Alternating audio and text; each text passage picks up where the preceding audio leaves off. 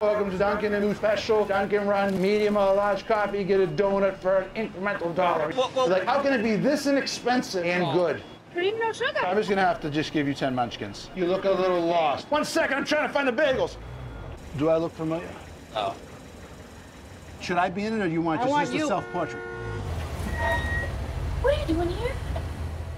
Embarrass me, find my Is this what you do when you say you're going to work all day? I, I gotta go, guys. Grab me a glazed. Come on down, partner. Medium hot black with caramel. Uh, we're out of uh, coffee. Oh. Oh, you're out of coffee. Yeah, we got no coffee and no donuts. Um, all right, let me do And we uh got no sandwiches and no muffins, and no cold brew, espresso teas, winter beverages, frozen, Coolattas, What do you got? uh, water.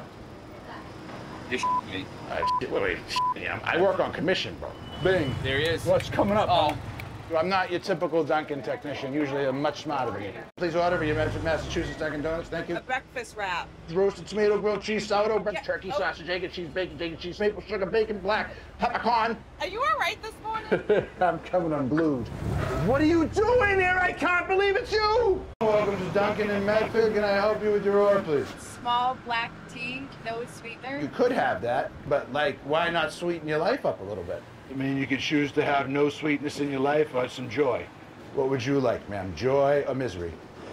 Joy's good. You do want joy. Is that joy in the form of Splenda or joy in the form of equal? Just like no sweet. You're insisting on darkness. Yes, please.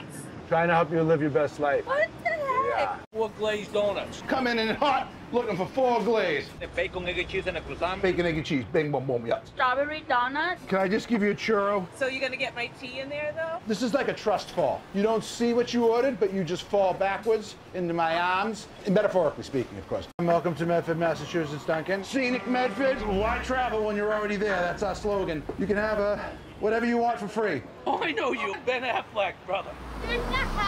Get out of here. I'm struggling. I'm gonna spill. Oh, I'm so sorry. I can't make it function. Malfunction. Not as easy as it looks operating this apparatus, I bet. Medium hot black. Uh, we're out of uh, coffee. Oh, you're out of coffee. Yeah, we got no coffee and no donuts. What do you got? Uh, water. You're me. I'm trying to compensate with comedy for my ineptitude. Hi, what can I do for you?